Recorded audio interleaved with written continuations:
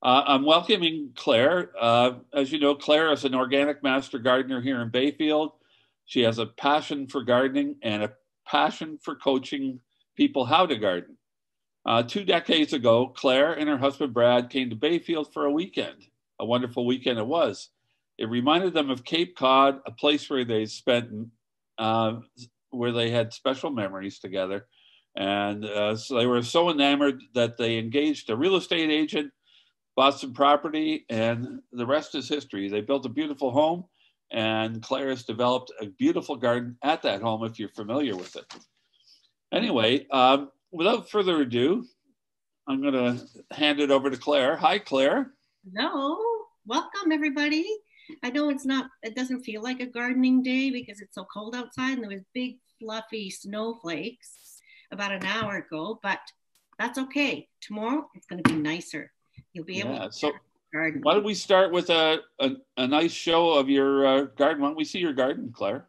Yeah, sounds good. Hi, my name is Claire Trepanier.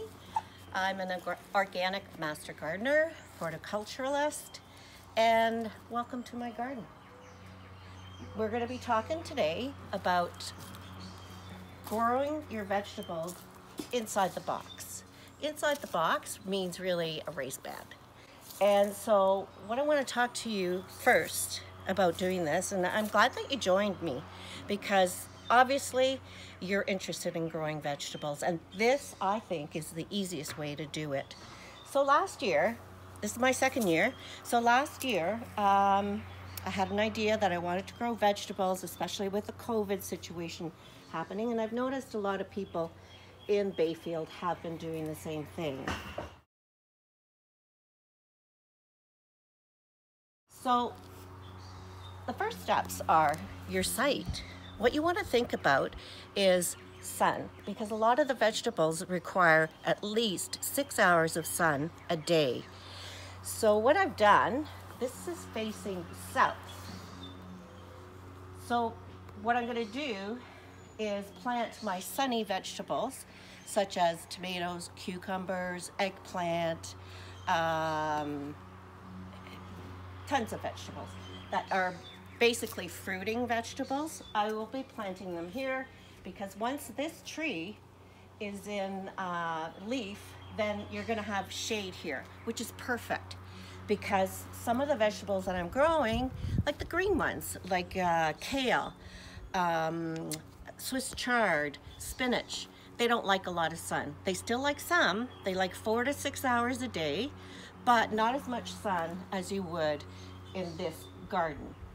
So, as I, I said, you want to think about when you're siting your beds, you want to think about the sun.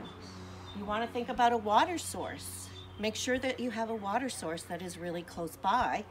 Otherwise, you're going to be coming out here, you're making lots of trips from, uh, you know, inside your house or on the other side of the house. So, lots of water. You want some sun. You want stuff that, you know, provides some shade for different types of vegetables. So when I started this garden, it was all grass. And I wanted to make it easier on myself. And so what I did is basically took some landscape cloth, um, which is a black material cloth. I laid it on the ground and then put some underneath it. I put, well, to keep it down, I put pegs inside so that it'd keep it down. And then after that, I just bought some bricks, edged it, very easy. Um, and then mulched it. And I wanted to mulch it because, well, first of all, you can leave it black if you want. That's up to you. I would think that the vegetables would grow, excuse me, a lot faster if you had the black material around it because it attracts the sun. But maybe in the heat of summer, that's not a good idea. Because honestly, in the heat of summer and when there was a drought, um, my tomatoes were feeling kind of eh, by the end of the day. So anyways, that's why I put the mulch down. Um, the other reason why I put the mulch down is um, some of my vegetables are trailing vegetables like butternut squash, um, or zucchini. And so it was great. I was able to get it to trail all around the mulch on the outside of the box so it wasn't taking space inside the box. Um, so that's the easy part. Next is also, okay, so I put the black landscape cloth down on the outsides of the box, but on the inside, I didn't want to do that. I did it to just on the outside here to protect the wood, but I didn't do it at the bottom. And so what I did was put newspaper down on the bottom. Um, and as you can see, there's no newspaper here anymore. So it basically disintegrated over the winter um, and over the summer, and there's no grass. So this is a no-dig method, which is very, very easy to do. Just have to think about your site, get the sun, get the water, lay your boxes down, and then put some newspapers at the bottom of this. I usually wet the newspapers so they're not flying all over the place. And then you add the soil. So the soil is very important for any garden, um, and for especially for in boxes. You don't want to just put a bunch of triple mix in it because what's going to happen is that the soil will get compacted. There's nowhere for it to go, and it'll become very uh, almost like clay. It'll it'll uh, compress. So what I do is I use, as I've shown, I have samples here. It's a one third, one third, one third mix. So the peat moss I use to retain the water, the sheep manure is for nutrients, and the triple mix is also to make the soil fluffy. Um, you don't want to put any garden soil in it because it'll, again, as I said, compact.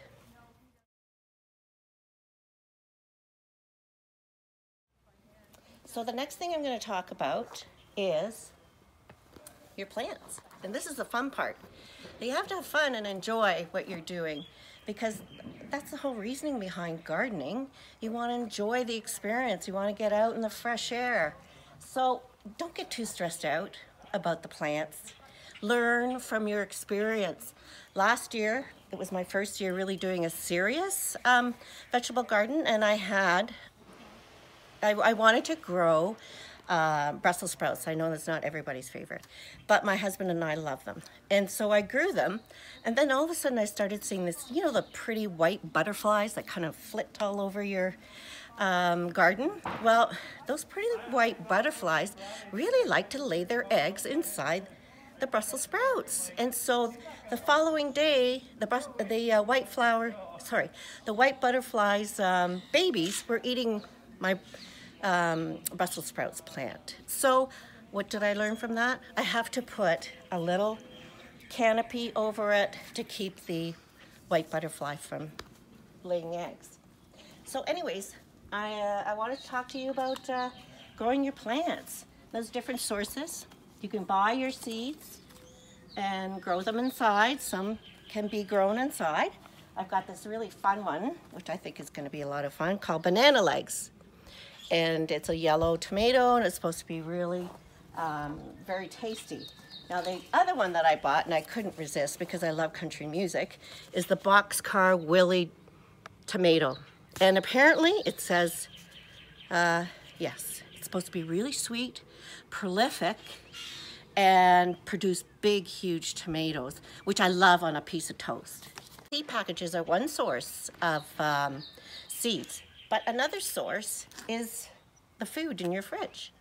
So I grew, I bought these tomatoes and they were at um, a store uh, over the winter that I absolutely loved. So what I did is I saved the seeds and they were like almost like a pea size type of uh, tomato. So anyways, I saved the seeds and now I'm growing them.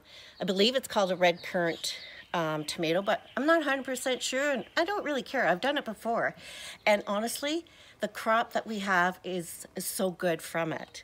There was um, one that I saved years ago. My mother gave them to her friends at their park and everybody loved them, but I didn't know the name of them, so they were called Claire's tomatoes after that. Um, and the other one, let me see, you can buy seedlings from a garden center, and that's another way to do it. Now, what I want to stress to you is a pack of seeds, and there's probably, I don't know, 100 sometimes in them, only costs about $3. So if it doesn't work out, no stress. Just learn from your experience as I did with the Brussels sprouts. Um, and I guess that's it. Just go out, have fun, enjoy your garden.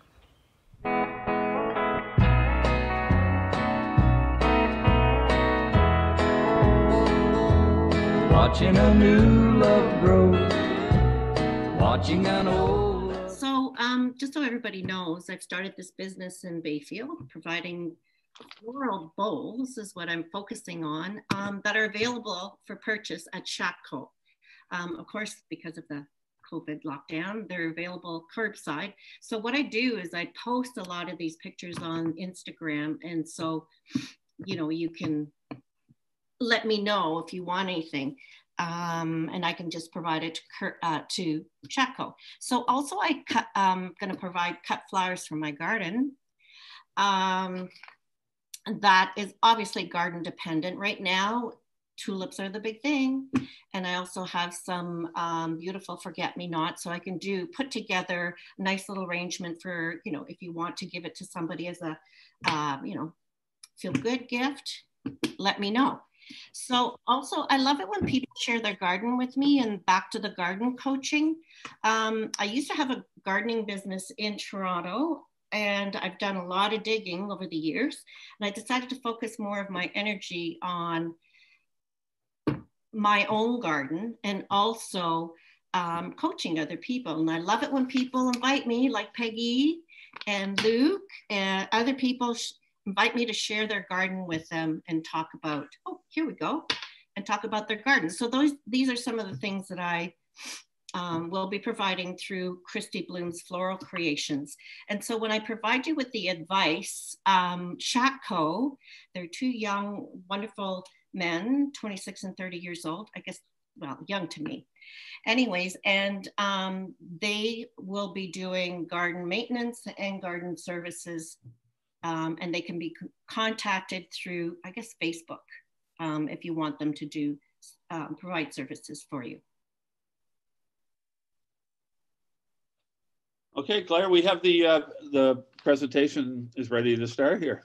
That's awesome. Okay, so vegetable gardening inside the box. I can't see my notes, by the way. I guess I'll have to just wing it. Um, so this is, I just want to let you know, this is not my garden right now. This is the garden um, that was there, I guess, probably back in July of last year. So slide. Okay, so we I already touched on the plants. So what you want to focus on is easy vegetables. If you're just a novice gardener, and easy vegetables are things like, uh, for example, there's um, I don't know, I classify vegetables in three different categories. There's the root vegetables, like your beets and your carrots. These are very easy to do. There's also the fruiting vegetables, which um, um, they, they range from tomatoes. And as you can see here, this is a butternut squash that I grew in my garden last year, which is from seeds that I had in my, um, from a butternut squash that I bought last year. So I just used the seeds from my fridge. And the other one I have here is the tiniest, smallest um, melon I've ever seen. And it ripened and it was only two inches large, but it was pumped with flavor. So these things are a little bit tricky to do, but your tomatoes are easy, cucumbers are easy. And then the third um, area of vegetables, which are pretty easy, are the greens, I call them. And so the greens can typically be categorized as a cool vegetable. So they'll be growing now. Um, you've got you know, spinach, lettuce, kale, um, you know, a whole variety of different types of uh, cool vegetables. So the other thing that you want to think about is what do you like to eat? I mean, if you don't like, let's say, radishes, why are you planting them? I know they're an easy vegetable to actually grow, but you know, it's not worth your time. I remember when I um, helped a kindergarten class in Toronto build a uh, vegetable garden. It was for Earth Day, actually, that we started the seeds. And the, the parents were saying to me, Well, why? Why would you want to plant radishes? I mean, my child's never going to eat a radish. Well, when those children harvested the radishes, and then I put a and they cleaned it, and then I put a little sea salt on them, they were gone in five minutes.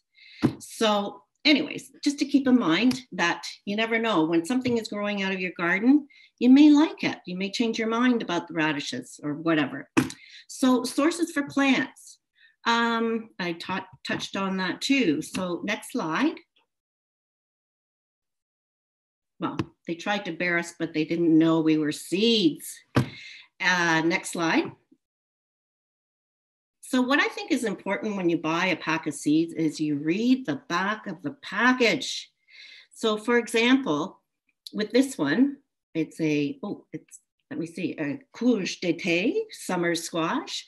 Anyways, it'll give you all the information when you should be planting it, how far apart that the uh, seeds should be, um, how deep the, the seeds should be, and also when they'll you can harvest them. So if you're going to be direct sowing, which is putting the seed right into your raised bed, typically you would do it, and it says here, uh, frost free time. And frost free, usually in this area, I would say is the third week of May. And so you would plant it third week of May. So um, it's 45 to 60 days, I think, before you can harvest. So that would be probably mid July. You'll be harvesting your zucchini from July, August, September, and maybe at the beginning of October. So next slide. Ah, again, your refrigerator or your cupboard. So um, this is a pepper plant that I'm actually growing right now. I've got the seeds. They're about three uh, that I planted about six weeks ago, and they're about I don't know four inches tall. Um, also, back to the tomato seeds is you know how they have a film around them?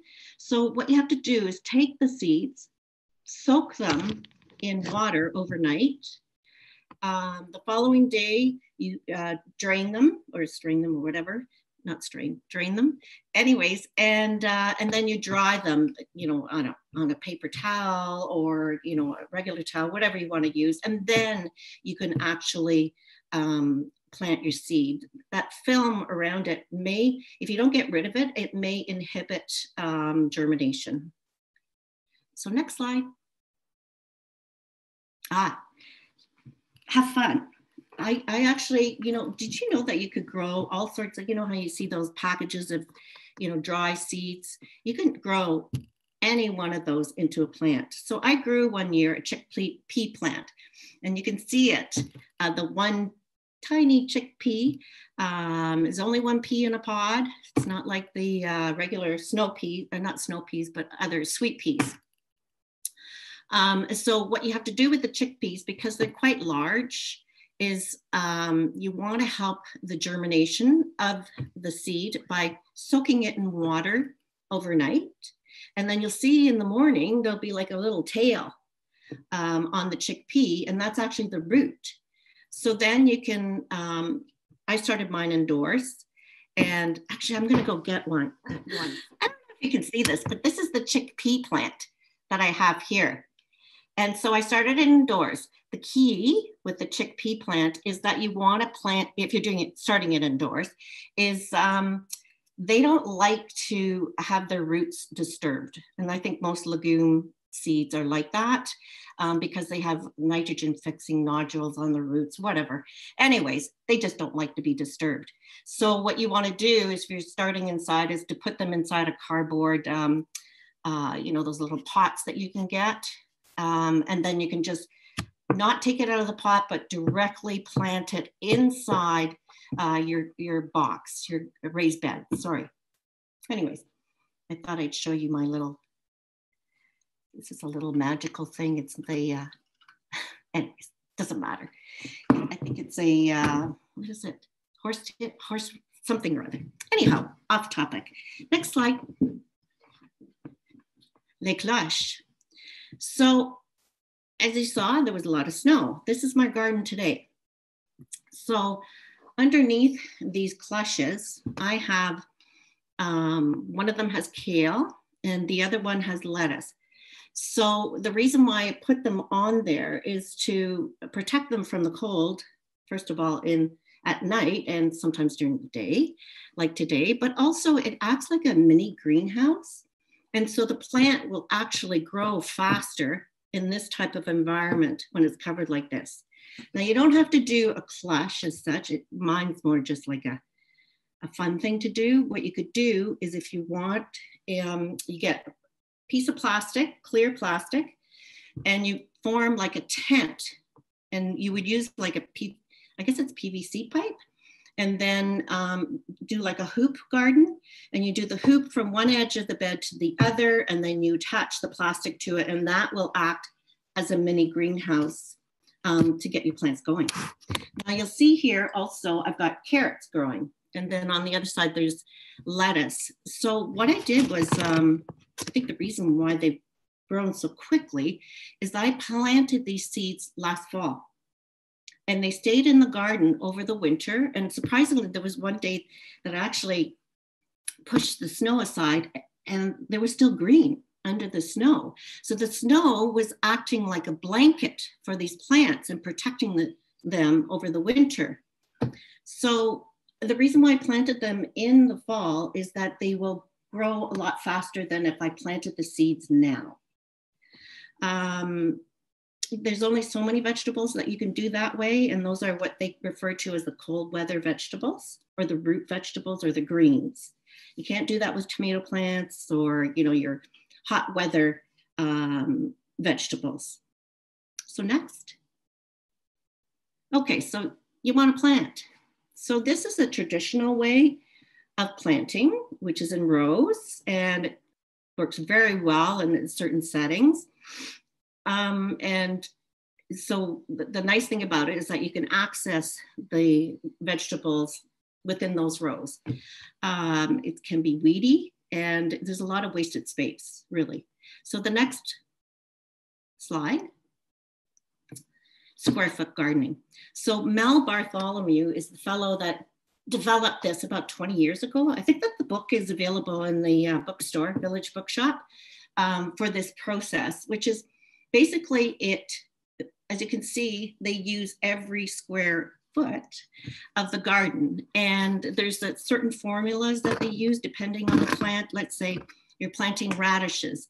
Well, to maximize the space in one square, you would plant 16 radish seeds. And but on the other hand, with a tomato plant, you would only have, because it gets pretty big, you would only have one vegetable uh, tomato plant in one box.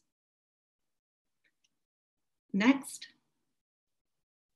And of course, the non-traditional style, and this is my garden, as I showed you. Um, I like to incorporate flowers in my vegetable garden, and the reason for that is your fruiting vegetables um, need pollinators. And so if you put flowers in there, then they will come to the garden, build it and they will come. And uh, they will come to the garden. They'll not only pollinate your flowers, um, but they'll also go and pollinate your, you can see there's a zucchini plant right beside it. And then I, you know, all sorts of other fruiting vegetables. Oh, also, did you know that, I mean, I didn't know this before, but tomato plants are self-pollinating, but they taste a lot better if they are pollinated. So there you go. Who would have known? So if you grow it inside, it's not going to taste as good. Next. So this is my rooftop garden in Toronto. So I wanted you, like, if you're not interested in putting, you know, doing all the work that I did, actually it wasn't much work for me, but anyways, um, you can grow vegetables in containers too. And you'll see the slide on the, or the picture on the left-hand side. So I've got kale, eggplant, and a cedar all in one container. So if you can imagine, this is the south facing um, deck. And so the reason uh, for my planting is I put a cedar in front of the kale because I wanted the kale to be shaded um, because the kale does not like a lot of sun. And then the eggplant I put with and exposed it, that's on the left-hand side, exposed it on um, with full sun because it's a fruiting vegetable and it likes full sun. It also provides a little bit of shade for the kale. Now for the kale, this is kind of like the three sisters, I guess, right? But these are the maybe the three amigos or something. But anyways, um, what the kale is doing is that it's covering the soil so that you won't get uh, your soil won't get as dry when you're um, if it's not if it's not exposed. So on the right hand side, this is a combination of uh, zinnias um, grown from seed and also so they're you know attracting the pollinators. Um, and also you'll see all that green stuff in the back. Those are tomatoes. Um, oh, just one other thing I want to talk about tomatoes. There's two different types. I don't know if people know this, but there's a determinate and there's an indeterminate tomato. And so the determinate will only grow to a certain size and only produce so many. Um, they're, they're basically your bushing type of tomatoes and will only produce so many tomatoes. Whereas the indeterminate, it just doesn't know when to stop. So it'll start producing in July and will produce until, um, I'd say, like, depending on the weather, it could produce until October. Um, this is a vining type of plant. So you have to allow for a lot of room for it, but I have a lot of it and it just was climbing up the trellis and um, it was quite happy and produced a ton of tomatoes. So next. So this is my lovely husband and he tells me to get out, enjoy, and have fun. ah, and then you can come and have a glass of wine after if you want, or during, whatever. Anyway, so the next thing I'm going to talk about is the books that are available at, at uh, the Village Bookshop, um, because this is kind of like a short and dirty, you know, type of presentation. So it's a lot to take in, but these are excellent books that are available. The, this is called The Beginner's Guide to Growing Great Vegetables. And honestly, I don't think it's, I think it's either for, um, it's not just for beginners is what I'm getting at. It's also for the novice. And, you know, I learned a few things from it. And what I liked about this book is that it, each chapter, it was broken down by month as to what you're supposed to do in the garden. And it also covers, now this author is from Portland, Oregon, but thank goodness, um, covered whole region from one side of the country to from the Atlantic to the Pacific, and also incorporated um, Ontario and the southern um, provinces. And so you can go through and it'll show you, okay, well, I'm in the, uh, you know, northeast um, area, and so this is what I can do right now. And it's a no fuss kind of a, a fun book actually to go through. Next slide. Oh, I love this one, Plant Partners. And again, this is, goes back to maybe my three amigos, but also the, um, uh, the three sisters. Um, you know, companion planting is basically what it is. Whereas, the, you know, with the three sisters, they're helping each other um, grow and produce. Um, and so typically I thought of um, companion planting as being repelling bugs, but actually it's not. It's actually, there's a lot of uh, science um, that has been put into this about companion planting that would obviously improve your plants' health, yields, and productivity. So it's a really good book and it's got great pictures. So No Dig Organic Home and Garden. Um, what I like about this book is that it goes one step further. Um, it actually provides you with ideas on what to do with your vegetables once you've harvested them. And it's not just cooking or preserving, it's also, um, you know, preparing calendula balms. Um, that's B A L M S, by the way. Anyways, and um, just various ideas the one thing that I thought was really intriguing in this, they had also had, uh, they taught you how to make, you know, those um, those wax covers that we put on our dishes now. They actually teach you how to do that in this book. Now, I don't know how that, uh, you know, how that relates to plants, but hey, you know how expensive they are. We can do it ourselves. Um, okay, so next one.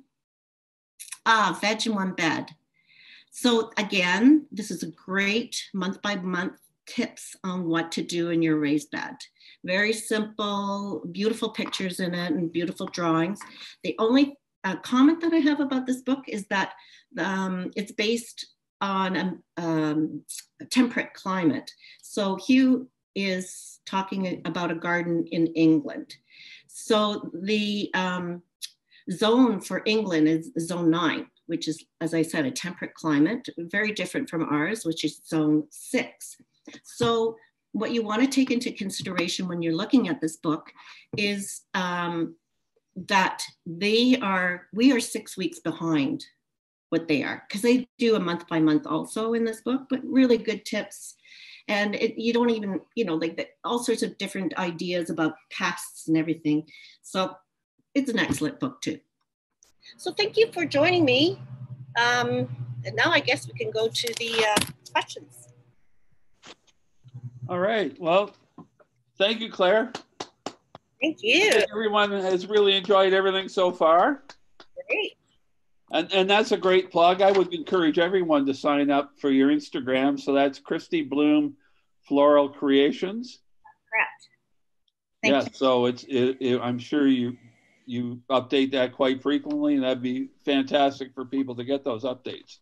Definitely. Okay.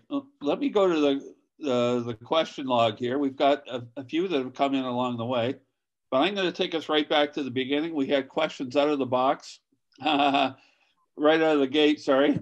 And uh, uh, first one was on, is from Tina. And she wants to know what are your thoughts are on triple shredded mulch?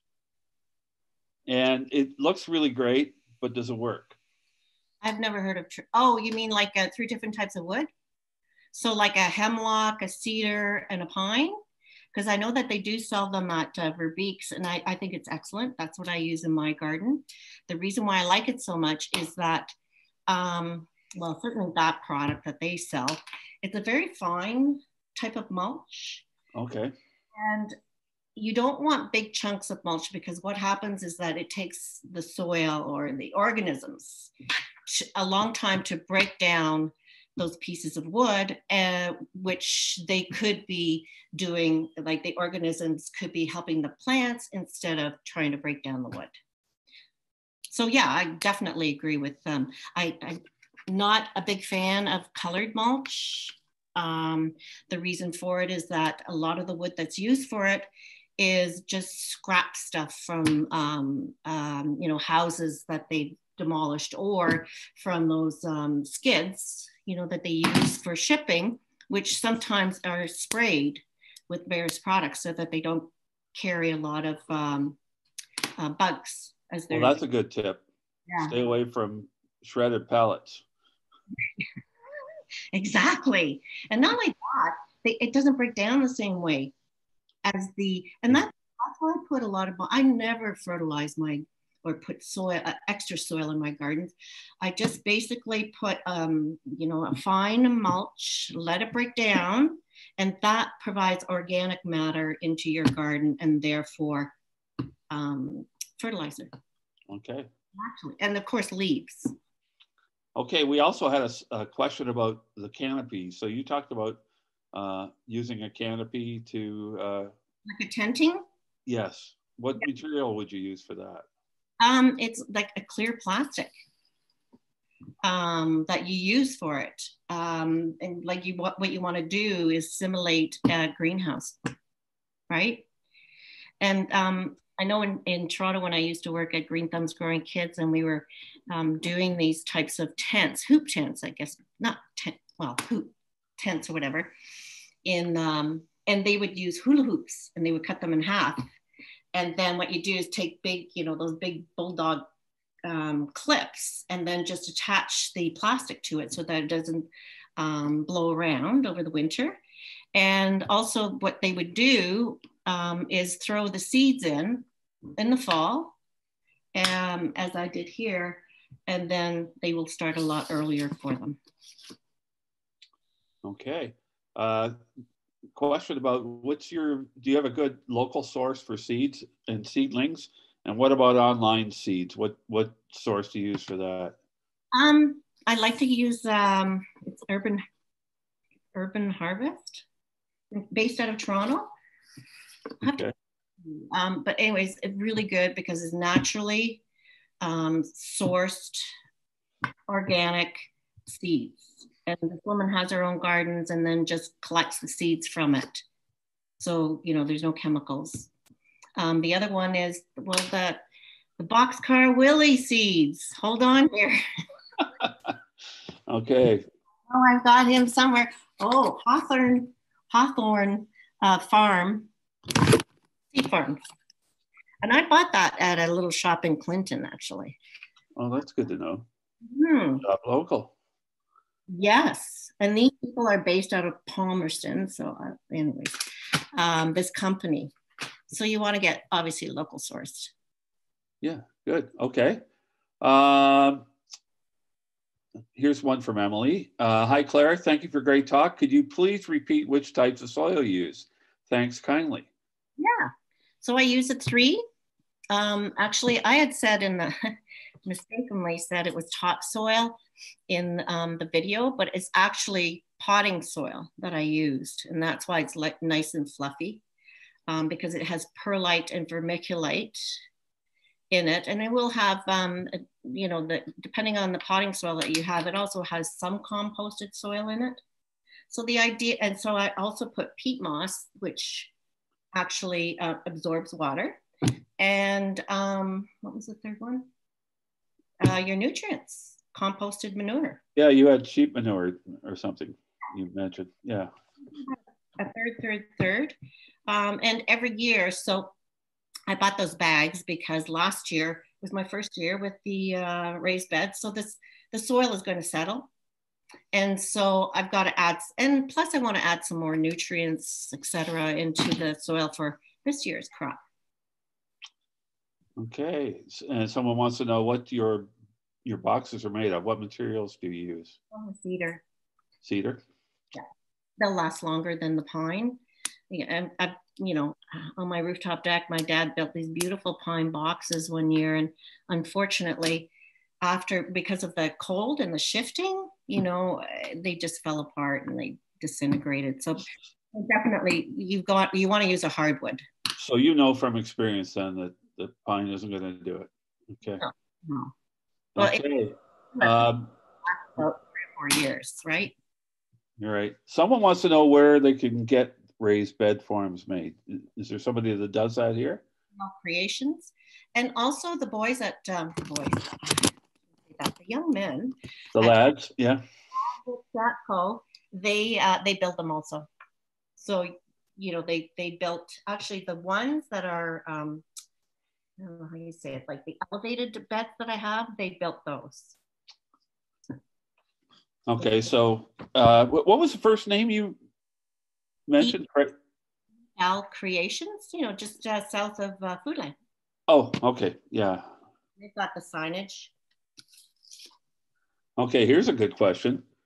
If we're interested in coaching, how should we proceed? So they want to know is it, can they reach out to you in some way? Sure, you can. And that's through my Instagram. Okay. So again, your Instagram is is Christy Blooms Bloom or Blooms? Bloomza. Bloomza. Blooms. Uh, Floral Creations. Yes, exactly. Or, you know, I, I can be, well, anyways, let's start there. Yes, do do that. Okay. Oh, here's a a ringer question from Babs. Have you started your greens outside already? Yes, you saw that with my cloches. Yeah, I think she asked before you showed it, but oh, okay, that's what it is. Well, you know the um, the kale that I, I I planted in there. I I mean I grew them inside and then put them outside, but like I put the cloche over it because even though they're cold weather vegetable, I still have to harden them off right? That's another thing. When you bring your, uh, you know, if you're growing inside and you bring your plant outside, um, you got to harden them off, which means that you have to get them acclimatized to the sun and the wind. And right. so it typically takes about a week. Um, it's a, a process, so you'd have to look it up. All right. Uh, here's another question on materials. So I think this might be referring to those uh, covers you had, and, I, and it was a French term, so I, and I don't remember it. Could we just use a plain plastic Walmart bin? Sure. Or maybe that's maybe that's to maybe that's to plant in.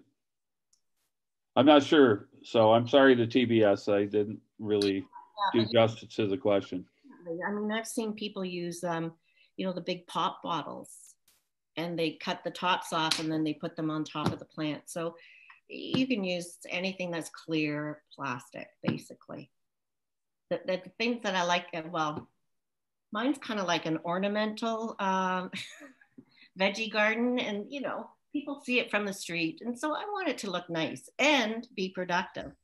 So that's why I use, you know, little fun things like that, like a cloche. But you can, you know, adapt to whatever you want. Okay. Uh, Patty wants to know hey, if I let a couple of tomatoes fall into the soil and leave them, will the seeds grow more plants? Um, like when? Like in the fall or in yeah, the in the fall, let's say. Fall? Um, no, I haven't really had success with that because you've got to uh, think that the tomatoes are like a warm weather plant it's not like a perennial seed where um, the perennials need a, a, time to harden off. Uh, no, sorry, a need a, a cooling period, you know, um, when yeah. down, and then they will produce. Um, with tomatoes, I've never had really success. I've tried that before and had not had success. No. Okay. Um, there's lots of compliments in here, so I'm going to skip over those, but please know that people are really enjoying your talk.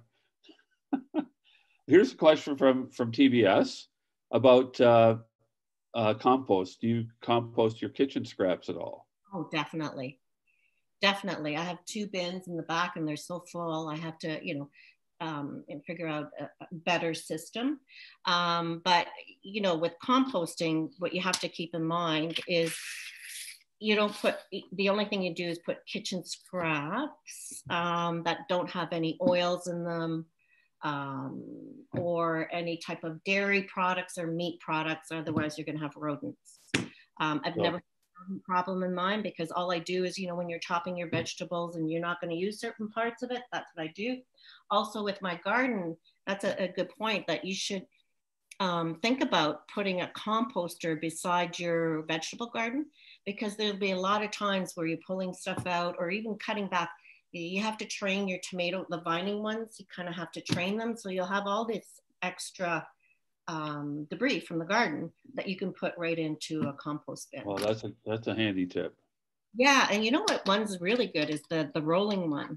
You know how you can roll it because that produces compost much faster than the ones that I have. Mine are kind of a dormant or whatever they call it. I don't do anything with them. I don't stir them or anything, but um, anyways, so yeah, the, the ones that you can roll yeah. are good.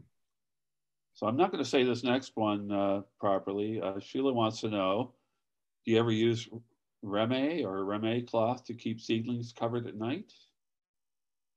And I'm not familiar with that term. It was sorry, but um, no, I do not.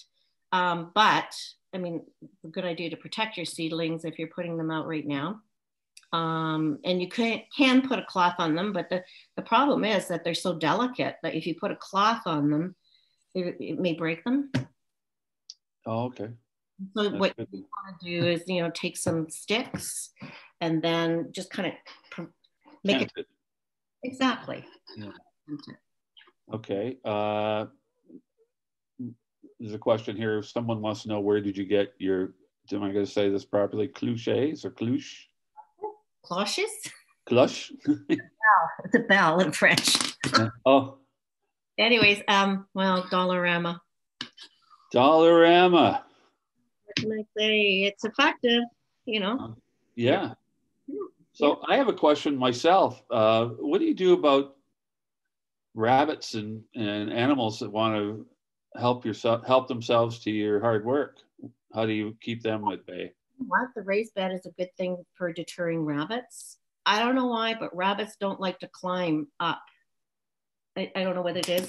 Um, they certainly, I have raised beds in the front and you know for ornamental garden and they don't climb up there only if the snow gets really high in the wintertime and they can climb up on top of the snow then they start eating the bark off my beauty bush anyways whatever but the other animals yeah it is a problem i've got strawberries that are growing um, in my boxes and I, I think i got maybe two or three last year so the squirrels were eating them so this year what i'm going to do is um, you can buy like a mesh, it's like a green mesh.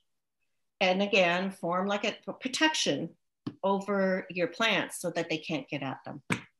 Okay, good tip. Will have access to sun, like the sun will come through um, the nylon mesh. Okay, there's a comment here. Uh, I see Huron Ridge has cold frames to put on the raised beds. I think that's kind of redundant, isn't it?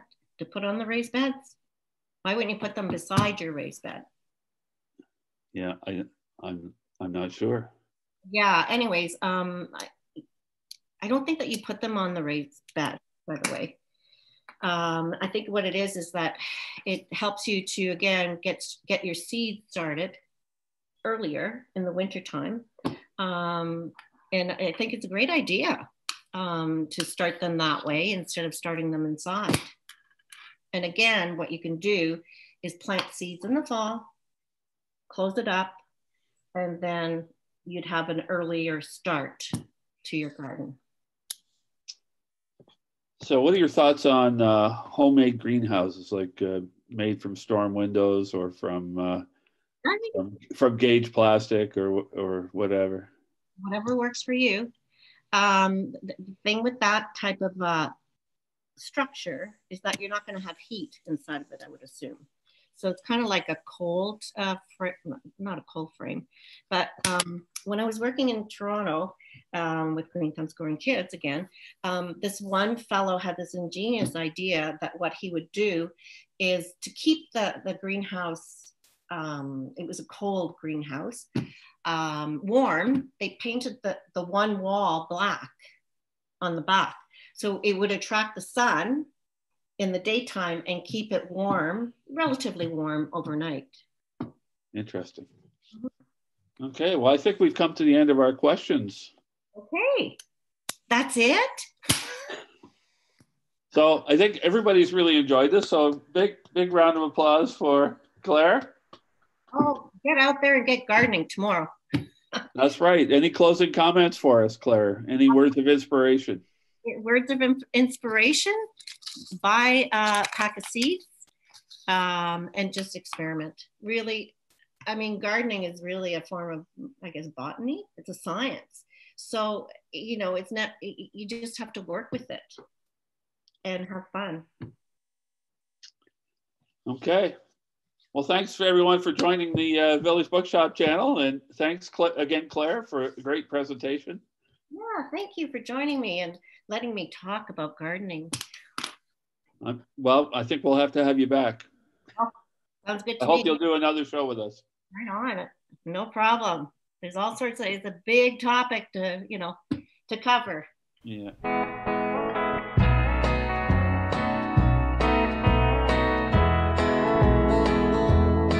Watching a new love grow, watching an old